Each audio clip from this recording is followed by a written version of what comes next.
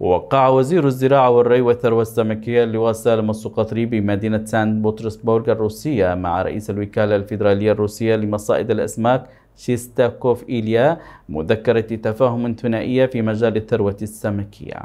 وعقب مراسم التوقيع أكد الوزير السقطري على عمق العلاقات التاريخية اليمنية الروسية ومشيرا إلى أهمية مذكرة التفاهم في خلق شراكة بين البلدين الصديقين. ومن جانبه أشار رئيس الوكالة الفيدرالية الروسية لمصائد الأسماك حرص بلاده على خلق آفاق جديدة للتعاون الاقتصادي مع اليمن.